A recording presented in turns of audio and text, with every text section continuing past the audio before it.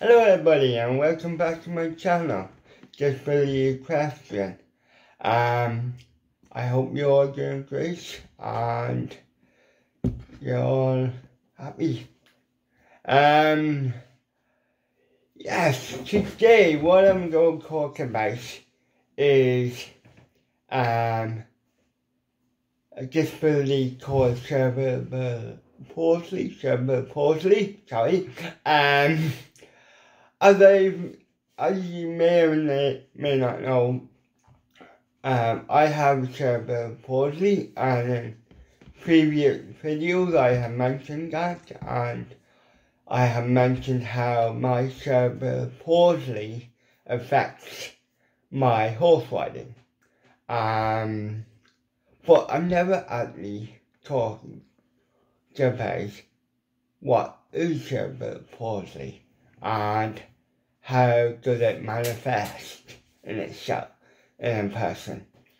Um, and where how does a person develop it or get it? Or um, well today's in today's video we will discuss that and while hopefully having a bit of fun because I, I want these videos to be enjoyable and entertaining as possible. Um, so yes, I'm going to keep it like that as much as possible. Um, uh, see how we go. Um, so, what is cerebral palsy? Okay, first of all, cerebral means the brain. So it has, the condition is, affects the brain. Palsy means weakness or powerless. So a part of the brain that is affected by cerebral palsy is paralyzed or weak. Right? Now, that's what the two words mean.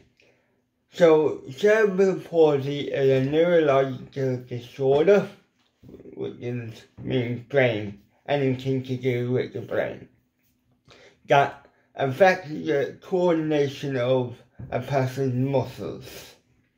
Um, so, you may have a person who has stiff joints, or a person like myself with a shake in their hands so that basically my brain is telling my hand to shake all the time. Okay? And this is due to a result of brain damage and or abnormal development of the brain. Now, I'm just careful because I, when I say as a result of, we can't say a cause of because as you will learn later on in this video, uh, we actually don't know what causes cerebral palsy. Um, now we know when cerebral palsy, or we briefly know when it, it happens get brain damage happens, a brain abnormal um, or growth development happens. And it happens either during the pregnancy of the child and during the birth of the, uh, oh, sorry, or during the birth of the child or just after, like up to one month after the birth of the child. So in those three time periods is when we believe cerebral palsy happens, uh, develops. But we don't know what causes it. And that, unfortunately. So, what are the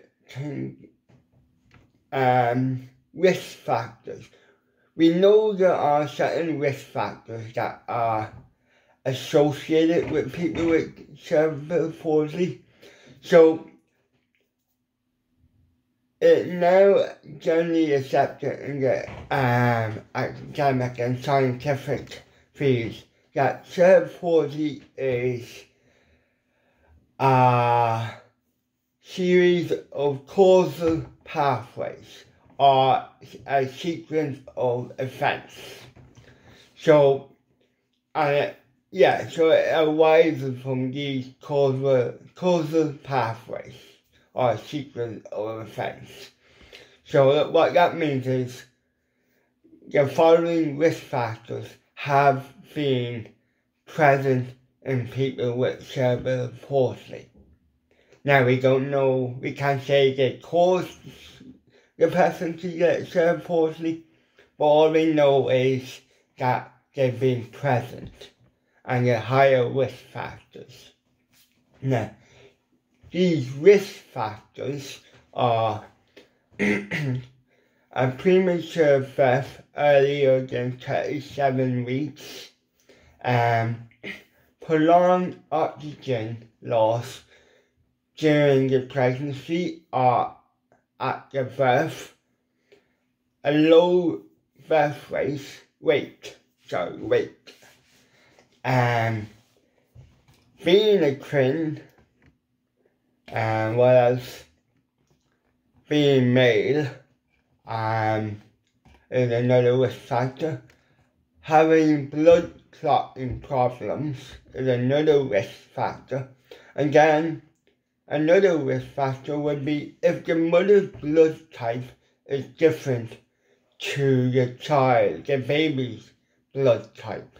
These are all risk factors associated with people with cerebral palsy. Now, we don't know what they cause them, but we know that they are associated. So, I give you an example of myself, okay? I'm obviously male. I got one risk factor. Um, I, my birth was a traumatic birth.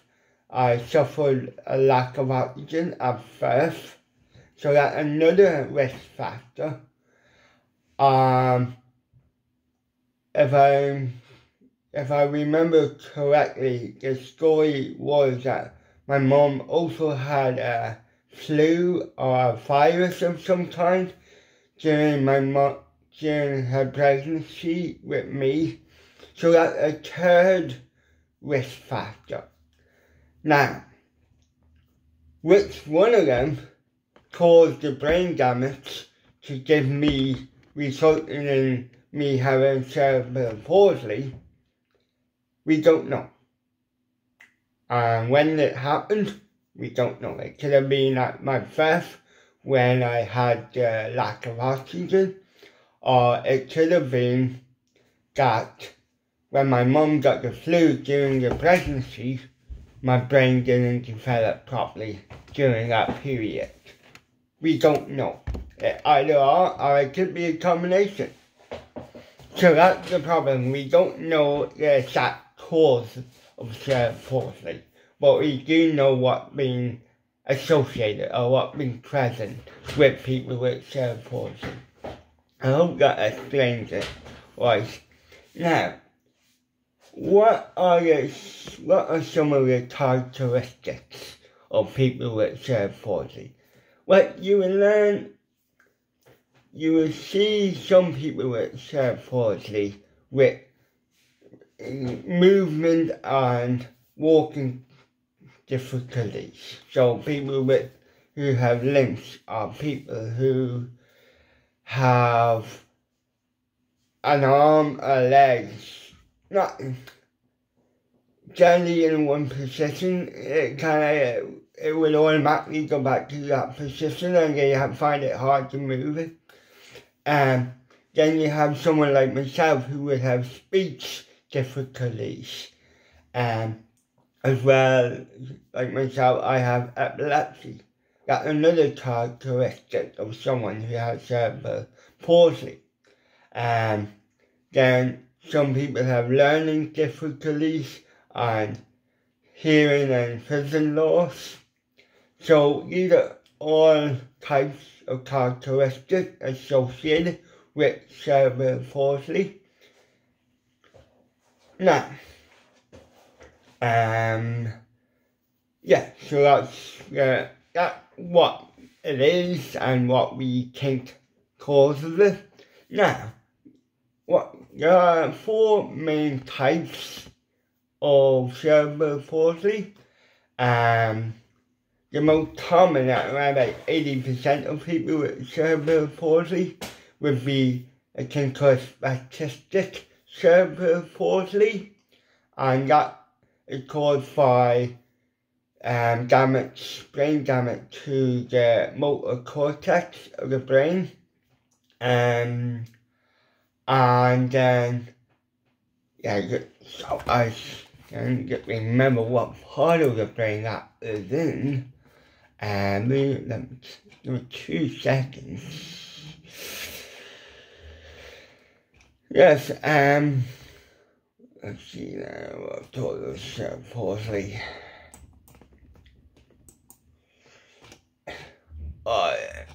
sorry, I don't have it on me. Apologies, like, take it like the back of your head, come, back of your head, I think that's where it is. Um, then the next, um, yeah, so, how spastic cerebral palsy uh, manifesting itself is um, stiffness of um, stiffness of um, muscles and legs, your muscles in your legs or in your arms, like in your limbs, I'm sorry, that's the way. The stiffness of your limbs, so it, you may see a person with a hand that, and an arm that is always permanently like that, like in front of them, or um, permanently in, your in that position, or your leg is like across the other leg. Sorry, I can't see that, don't know why I'm doing that. Apologies. But yeah, so you may see um, a person with cerebral palsy that has their legs crossed in a funny manner, in a certain manner, sorry. Um, that is called spastic cerebral palsy and it is uh, and as I say, it is a re- result of muscles being stiff and tight. Um, yes, I, uh, bonus fact here is spastic is a, uh, um, where the word spa to mock someone who looks, who's done something stupid or looks something um, looks stupid. That's where the word came from, unfortunately. I did not to, a nice thing to say, but that is where the word came from. Um, statistic. Um, then the second term, second type of cerebral palsy, um, affecting around about 6% of people with cerebral palsy, is caused uh, forgive me if I'm pronouncing it wrong, dyskinetic palsy, um, also known as athetoid cerebral palsy.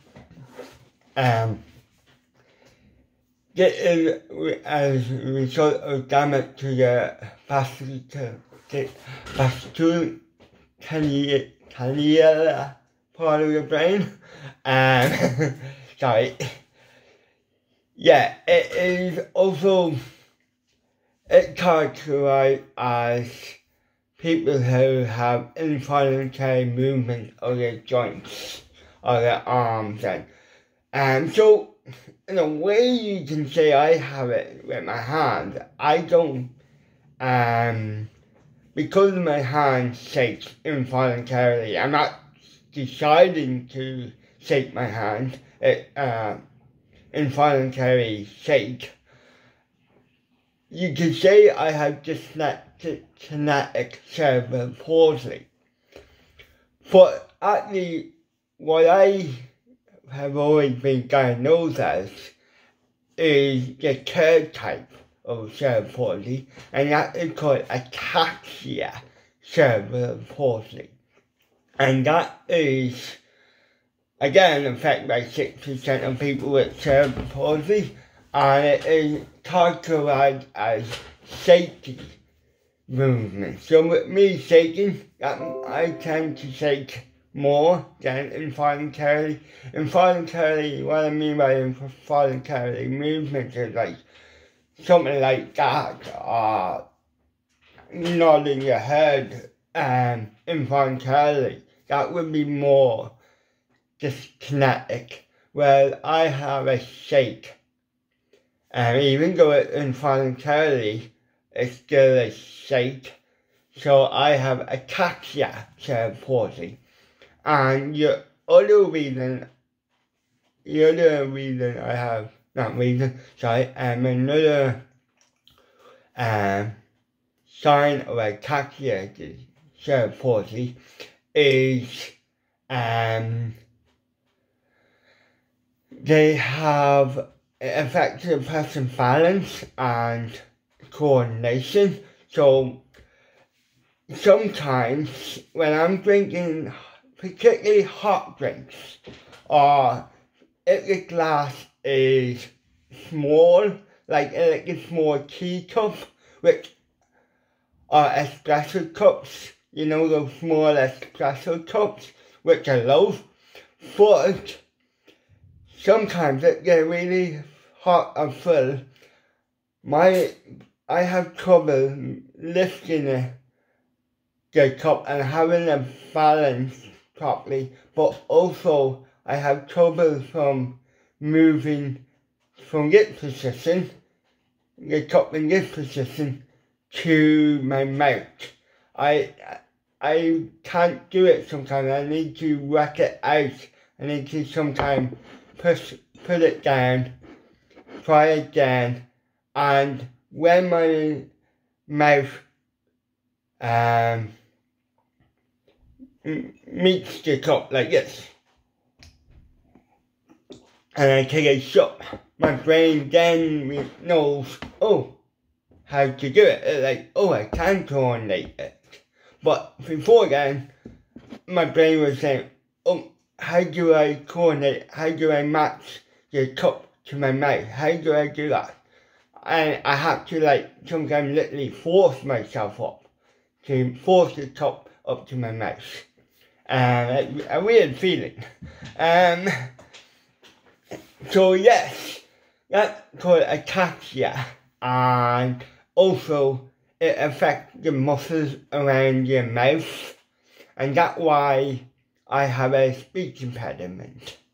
It because my lips, my muscles in my lips can't, can't form properly, they're paralyzed, or weak, and you're not forming a perfect curve around um, our opening to pronounce certain letters.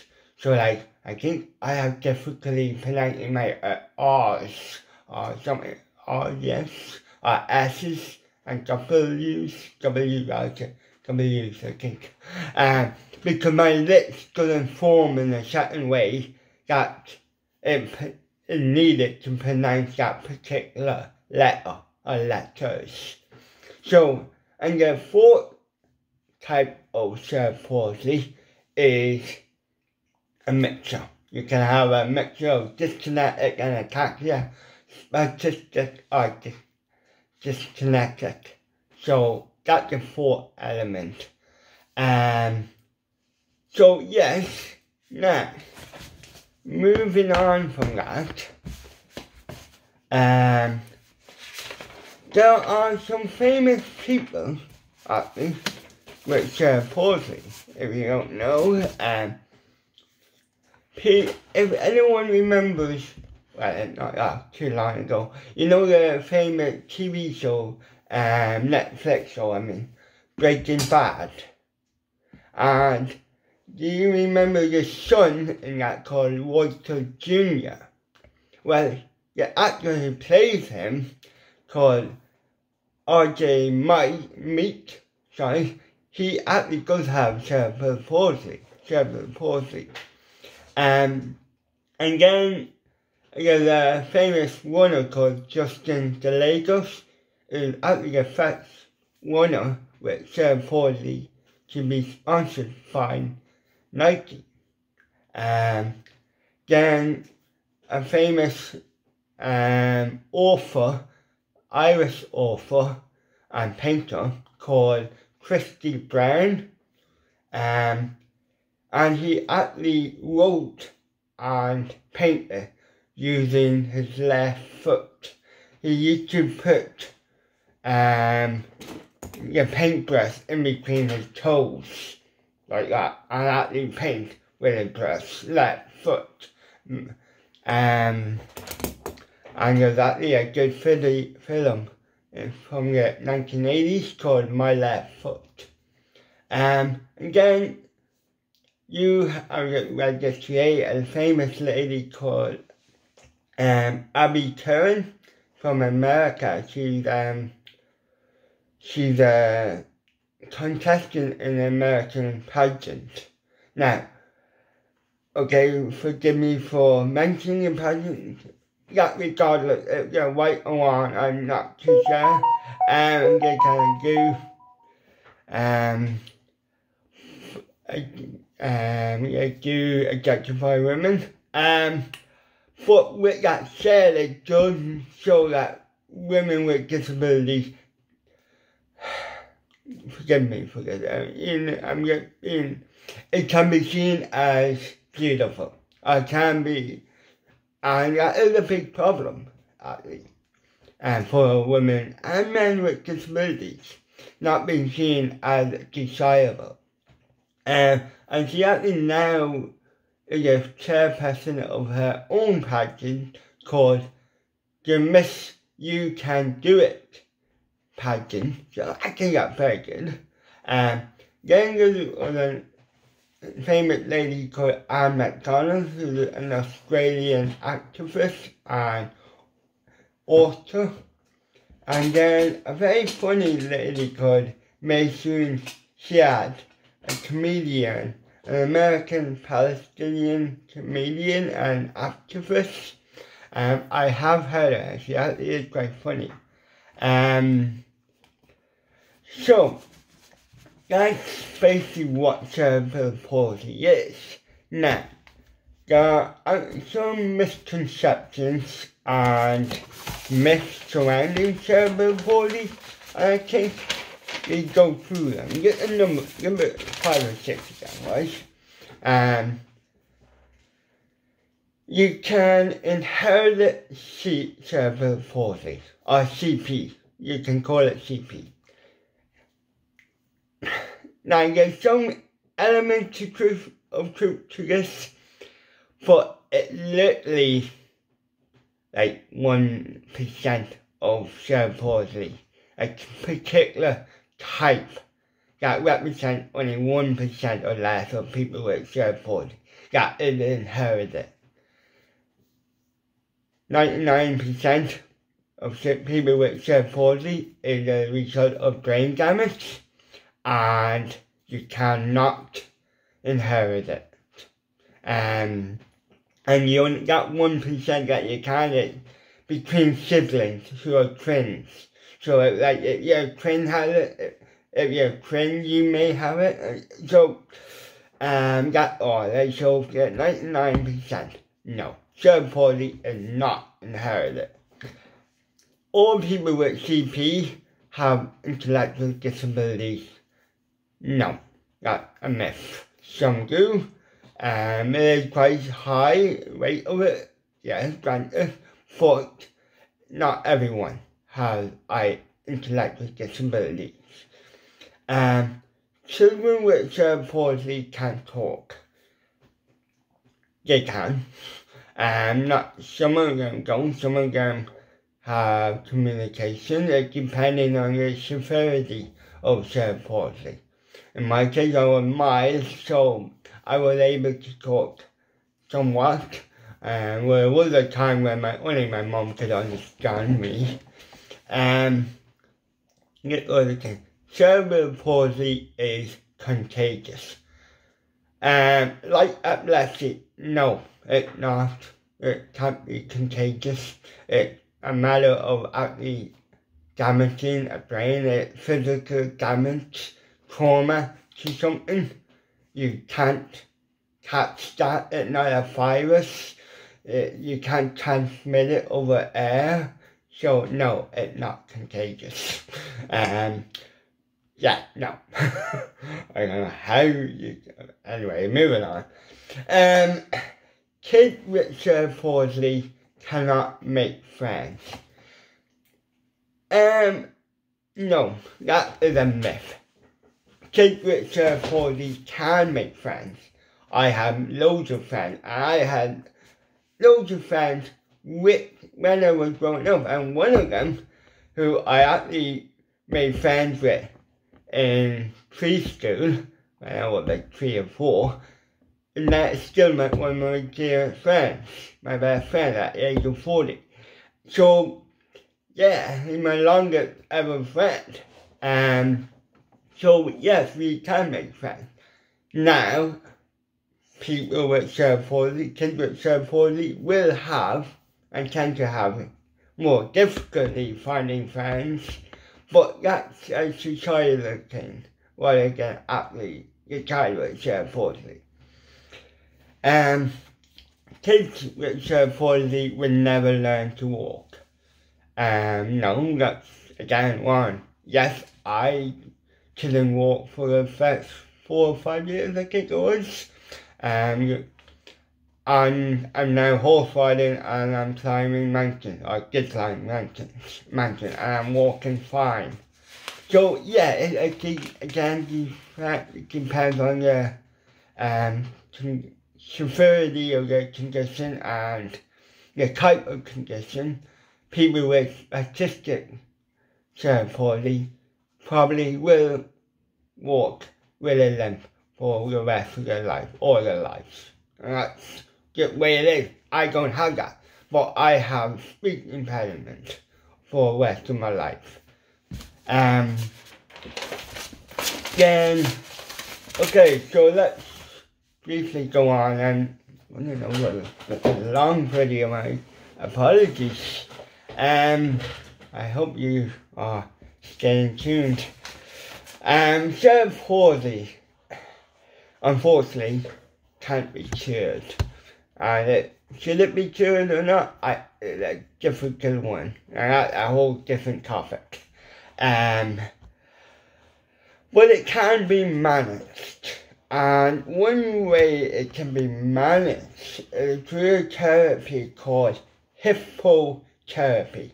And no, you're not handing out a riding hippocampus. No.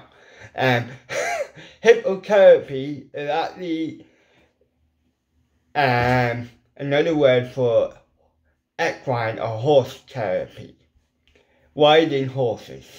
And um, there actually been a study recently from America and uh, Korean professors um, to uh, colleges, universities, I mean, um, called horse riding confirmed as a viable mobility treatment for cerebral palsy. It has been scientifically confirmed that it is to it benefits people with cerebral palsy.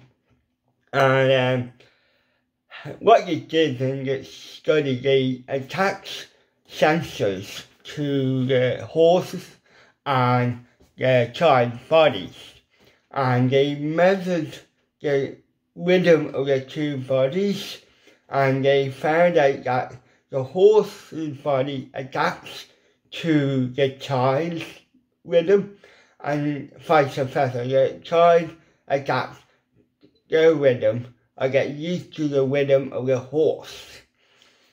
And what they suspect is happening here or what you hope to happen is that the neurological neuromuscular development of the child is learning or adapting new ways to the horse's gait.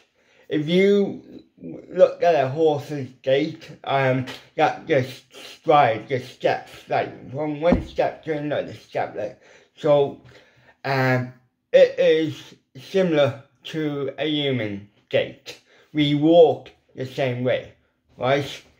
Um, and what they are suggesting that the way the horses walk, the child senses the rhythm and learns that their body in a way learn new muscle memory from this horse's rhythm and it improves their balance and their own rhythm and walking. And it helps them um,